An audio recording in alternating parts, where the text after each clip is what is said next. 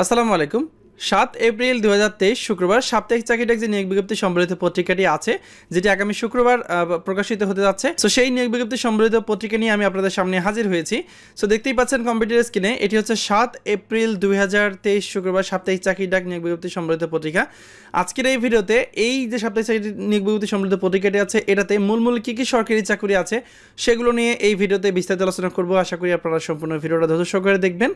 আর মূল ভিডিওটি আলোচনা করার পূর্বে ছোট্ট একটা রিকোয়েস্ট থাকবে যারা সরকারি চাকরির পাশাপাশি বেসরকারি চাকরি নিয়ে ভিডিও পেতে চান, আমার এই ভিডিও জব নিউজ ইউটিউব চ্যানেলটি সাবস্ক্রাইব করে রাখবেন। আমি এই চ্যানেলের লিঙ্ক এই ভিডিও ডিসক্রিপশন এবং প্রথম কমেন্টে দিয়ে দেবো। আপনারা নিত্য নতুন বেসরকারি চাকরির আপডেটগুলো পেয়ে যাবেন। আমি আবার বলে দিচ্ছি, এই চ্যানেলের লিঙ্ক এই ভিডিও ডিসক্রিপশন এবং প্রথম কমেন্টে দেওয়া থাকবে।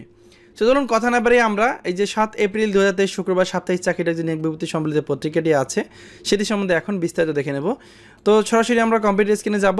তো যেমনটা দেখতে পাচ্ছেন, প্রথম পাতায় কিন্তু মূল মূল যে নিয়োগ বিজ্ঞপ্তিগুলো, সেগুলো দেওয়া আছে। আমরা এগুলো আগে এগুলো নিয়ে আলোচনা করব। তো আজকে প্রথম যে নিয়োগ বিজ্ঞপ্তিটা নিয়ে আমরা আলোচনা করব, আমি একটু জুম করে নিই, যাতে আপনাদের সবার দেখতে সুবিধা, সেটা হচ্ছে বাংলাদেশ বিমান বাহিনীতে অফিসার ক্যাডের উননব্বইতম বিএএফএ কোর্সে নতুন নিয়োগ বিজ্ঞপ্তি প্রকাশিত হয়েছে।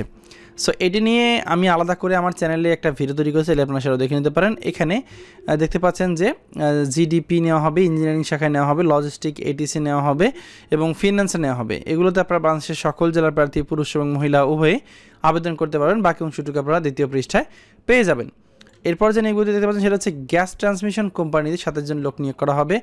এখানে রিসেপশনিস্ট নেওয়া হবে, হিসাব সহকারী নেওয়া হবে সিনিয়র ইলেকট্রিশিয়ান নেওয়া হবে ইলেকট্রিশিয়ান নেওয়া হবে কম্প্রেসার অপারেটর নেওয়া হবে ট্রান্সপোর্ট সুপারভাইজার নেওয়া হবে সিনিয়র টেকনিশিয়ান নেওয়া হবে টেকনিশিয়ান নেওয়া হবে জুনিয়র টেকনিশিয়ান নেওয়া হবে। এখানে আবেদনের যাবতীয় তথ্য দেওয়া আছে, বাকি অংশটুকু আপনারা দ্বিতীয় পৃষ্ঠায় পেয়ে যাবেন। এরপর দেখতে পাচ্ছেন, আইন বিচার ও সংসদ বিষয়ক মন্ত্রণালয়ে তিরিশ জন লোক নিয়োগ করা হবে। হিসাব রক্ষক নেওয়া হবে ষাটমন্ত্রী কাম, কম্পিউটার অপারেটর নেওয়া হবে, কম্পিউটার অপারেটর নেওয়া হবে, ক্যাশিয়ার নেওয়া হবে, অফিস সহায়ক নেওয়া হবে, নিরাপত্তা প্রহরী বা সিকিউরিটি গার্ড নেওয়া হবে। এগুলোতে আপনারা অষ্টম, এসএসসি ও এসএসসি পাশে পুরুষ, মহিলা, উভয় প্রার্থী আবেদন করতে পারবেন। এই নিয়োগ বিজ্ঞপ্তির সম্বন্ধে দ্বিতীয় পৃষ্ঠায় বিস্তারিত দেওয়া আছে, সেখান থেকে আপনারা দেখে নেবেন। আইসিবি অ্যাসেট ম্যানেজমেন্টে চব্বিশ জন লোক নিয়োগ করা হবে। এটা আপনারা দেখে নেবেন। এখানে বিস্তারিত দেওয়া আছে। বাকি অংশটুকু দ্বিতীয় পৃষ্ঠা পেয়ে যাবেন। এছাড়াও, আইডিয়াল স্কুল অ্যান্ড কলেজ মতিঝিলে বান্ন জন লোক নিয়োগ করা হবে। এখানে পদের বিবরণ সহ সব কিছু দেওয়া আছে। অষ্টম এসএসসি ও এসএসসি পাশে আবেদন করতে পারবেন। বাকি অংশটুকু দ্বিতীয় পৃষ্ঠায় দেওয়া আছে। এবার দেওয়া আছেন আর্কাইভস ও গ্রন্থাগার অধিদপ্তরে ষোলো জন লোক নিয়োগ করা হবে। কম্পিউটার অপারেটর নেওয়া হবে। জুনিয়র টেকনিক্যাল অ্যাসিস্ট্যান্ট নেওয়া হবে। ষাটমন্ডখরি কাম কম্পিউটার অপারেটর নেওয়া হবে। অফিস সহকারী কাম কম্পিউটার মুদ্রাক্ষরিক নেওয়া হবে। দপ্তরি নেওয়া হবে। বুক শার্টার নেওয়া হবে। অফিস সহায়ক নেওয়া হবে। এগুলোতে এসএসসি ও এইচএসসি পাশে পুরুষ, মহিলা, উভয় প্রার্থী আবেদন করতে পারবেন। এরপর বাংলাদেশ সড়ক পরিবহন কর্পোরেশনে একুশ জন লোক নিয়োগ করা হবে, যেটাকে আমরা সিকিউরিটি গার্ড বলে থাকি। অষ্টম শ্রেণি পাশ হলেই আবেদন করা যাবে। এরপর সবচেয়ে আকর্ষণীয় যে চাকরি সেটা হচ্ছে ঢাকা ম্যাস ট্রানজিট কোম্পানি। যেটা ঢাকা মেট্রো রেলের যে নিয়োগ বিজ্ঞপ্তি, সেটা কিন্তু এখানে বিশেষ নিয়োগ বিজ্ঞপ্তি প্রকাশিত হয়েছে। তাই আপনারা এগুলোতে আবেদন করতে পারেন। এর বাকি অংশটুকু দ্বিতীয় পৃষ্ঠায় পেয়ে যাবেন। এছাড়া দেখতে পাচ্ছেন, জেলা প্রশাসক ঠাকুরগাঁয়ে আঠারো জন লোক নিয়োগ করা হবে, অফিস সহায়ক নেওয়া হবে, পরিষদা কর্মী নেওয়া হবে, নিরাপত্তা প্রহরী হবে, মালি, বেয়ারার সহকারী, বাবুর্চি সহ। আপনাকে বিস্তারিত এখানে কিন্তু পেয়ে যাবেন, এটা আপনারা ভালোভাবে দেখবেন। এরপর দেখতে পাচ্ছেন যে, বিমান বাংলাদেশ এয়ারলাইন্সে চোদ্দ জন লোক নিয়োগ করা হবে। এছাড়াও নেভি অ্যাঙ্কারেজ স্কুল অ্যান্ড কলেজে আটজন লোক নিয়োগ করা হবে। সেই সাথে দেখতে পাচ্ছেন প্রধান বয়লার পরিদর্শকের কার্যালয়ে বারো জন লোক নিয়োগ করা হবে। এখানে পদের বিবরণ সব কিছু দেওয়া আছে। এছাড়াও বাংলাদেশ ক্রীড়া শিক্ষা প্রতিষ্ঠানে আটজন লোক নিয়োগ করা হবে কোর্স নেওয়া হবে, আরও কিছু পদ আছে, এরপর হবে। এখান থেকে দেখে নেবেন। ক্যান্টনমেন্ট পাবলিক স্কুল অ্যান্ড কলেজে দশজন লোক নিয়োগ করা হবে। এখানে স্কুলের নাম সহ বিস্তারিত দেওয়া আছে বাকি অংশটুকু দ্বিতীয় পৃষ্ঠায় পেয়ে যাবেন। এছাড়া বাংলাদেশ তাঁত বোর্ডে দুইজন লোক নিয়োগ করা হবে, এখানে বিস্তারিত দেওয়া আছে। এটা আপনারা ভালোভাবে দেখে নেবেন। আমরা কিন্তু প্রথম পাতার মূল মূল যে সরকারি চাকরিগুলো আছে এবং বেসরকারি চাকরি আছে, সেগুলো নিয়ে আলোচনা করেছি। আমরা এখন সরাসরি চৌদ্দ পৃষ্ঠায় চলে যাব, কারণ প্রথম এবং চতুর্থ পৃষ্ঠায় মূল মূল নিয়োগ দেওয়া থাকে। তো চলে আসলাম চতুর্থ পৃষ্ঠা দেখতে পাচ্ছেন শেরে বাংলা কৃষি বিশ্ববিদ্যালয়ে চৌত্রিশ জন লোক নিয়োগ করা হবে। এছাড়াও জাহাঙ্গীরনগর বিশ্ববিদ্যালয়ে দশজন লোক নিয়োগ করা হবে। সুনামগঞ্জ পল্লী বিদ্যুৎ সমিতিতে ছয় জন লোক নিয়োগ করা হবে। অফিস সহায়ক পদে এসএসসি পাশ হলে আবেদন করা যাবে।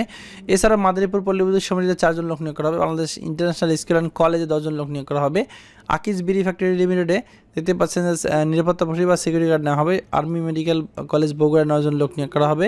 উদরক জেলা ও দারাজ চট্টগ্রামে তিনজন লোক নিয়োগ করা হবে। National institute of textile engineering and research, NITER, ছয়জন লোক নিয়োগ করা হবে। নর্থ সাউথ ইউনিভার্সিটিতে দুজন লোক নিয়োগ করা হবে। সুরমগঞ্জ পল্লীবিদ্যুৎ সমিতিতে আটজন লোক নিয়োগ করা হবে। বাংলাদেশ কৃষি বিশ্ববিদ্যালয়ে সতেরো জন লোক নিয়োগ করা হবে। কালেক্টরেট কলেজিয়েট স্কুল লালমনিরহাটে পাঁচজন লোক নিয়োগ করা হবে। এছাড়াও আকিজ বিড়ি ফ্যাক্টরিতে নতুন নিয়োগ বিজ্ঞপ্তি এখানে দেওয়া আছে। এটা আপনারা ভালোভাবে দেখে নেবেন। আর আমি আবার বলে দিচ্ছি, এই নিয়োগ বিজ্ঞপ্তির লিঙ্ক ভিডিও ডিসক্রিপশন এবং প্রথম কমেন্টে পেয়ে যাবেন, সেখান থেকে দেখে নেবেন। একটা নিয়োগ বিজ্ঞপ্তিতে আবেদন করতে আমি বারণ করব বা নিষেধ করব, স্পষ্টভাবেই নিষেধ করব। কারণটা হচ্ছে এই যে দেখতে পাচ্ছেন, উপজেলা পরিবার পরিকল্পনা কেন্দ্র নিয়োগ। সো এখানে খুব লোভনীয় যে বেতন সেটা কিন্তু দেওয়া আছে। এখানে কিন্তু আবেদন করার পর আপনি যখন আপনার ইমেল করে সকল কাগজপত্র পাঠাবেন, তখন আপনাকে আপনার কাছ থেকে আবেদন ফি বাবদ টাকা টাকা, এটা একটা হাবিজাবি নেওয়া হবে। এবং কেউ যদি টাকা দিয়ে আপনারা যদি ক্ষতিগ্রস্ত হন, সেক্ষেত্রে আমি কিংবা আমার চ্যানেল কোনোভাবে দায়ী থাকবে না। কারণ চাকরি হওয়ার আগে এরকম ফিটি হাবিজাবি দেয়, এটা খুব সমস্যা। যদিও বা সরকারি কোনো পোর্টাল হলে সেটা কিন্তু ভিন্ন ছিল, কিন্তু এখানে সম্পূর্ণ ব্যক্তিগতভাবে মোবাইলে টাকা পাঠিয়ে দিয়ে ইমেলে কাগজ নিয়ে এটা সমস্যা আছে, ঠিক আছে? সো এটা থেকে আবেদন করা থেকে বিরত থাকবেন। বন্ধুরা, এই ছিল সাত এপ্রিল দু হাজার তেইশ শুক্রবার সাপ্তাহিক চাকরির যে নিয়োগ বিজ্ঞপ্তি সম্মিলিত পত্রিকাটি আছে সেটি সম্বন্ধে বিস্তারিত আলোচনা করেছি। এরপরে যদি কারোর প্রশ্ন থাকে, তাহলে অবশ্যই কমেন্টে জানাবেন। ধন্যবাদ সবাইকে। আজকের ভিডিওটা এ পর্যন্তই। ভালো থাকবেন সবাই। আসসালামু আলাইকুম।